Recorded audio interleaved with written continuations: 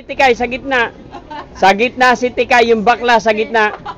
Yung bakla sa gitna. Tomboy yan. At tomboy. Paul, maglakad ganun oh. Sige, maglakad. Wow! Sophia May. Es- Sophia May ka pala. Eto, Padil.